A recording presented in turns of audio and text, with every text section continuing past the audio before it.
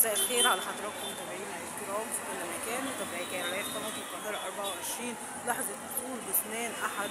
ضحايا حادث اتوبيس المطريه آه، ليصل عدد الضحايا في هذا الحادث إلى 13 جثه زي ما حضراتكم متابعين معانا الآن عدد كبير جدا من أهالي المطريه متجمعة. استقبلت جثمان سمر اخر آخر ضحايا حادث آه، اتوبيس المطرية. طبعا الحادث آه، كان آه، شهدوا طريق آه، المطرية بورسعيد عند منطقة الحزام الآمن اللي بتربط ما بين محافظة الدقهلية ومحافظة بورسعيد آه، أتوبيس بينقل عدد من العمال اللي شغالين في المنطقة الاستثمارية في محافظة بورسعيد حصل التصادم في الأتوبيس. أسفر عن مصرع ات- 13 شخص من ما بينهم تسع سيدات وأربع رجال وأصيب حوالي أكثر من 20 شخص بإصابات متفرقة ما بينهم لازال اتنين في حالة خطرة. زي ما حضراتكم متابعين معانا الآن متابعينا الكرام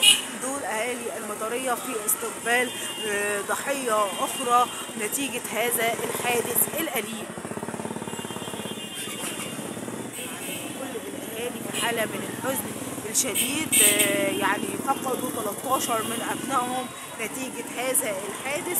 وشفنا قرارات حازمة جدا من قبل محافظ الدقهليه آه، يعني بتاهيل الطريق ومنع آه، سير السيارات النقل الثقيل عليه وإنشاء مطبات صناعية وتزويد الإنارات الخاصة بالطريق وأيضا عمل رادارات بالطريق. يعني ذلك آه، بسبب تكرار الحوادث عليه.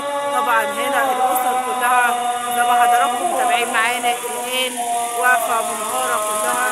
ربنا يصبرهم يا رب العالمين.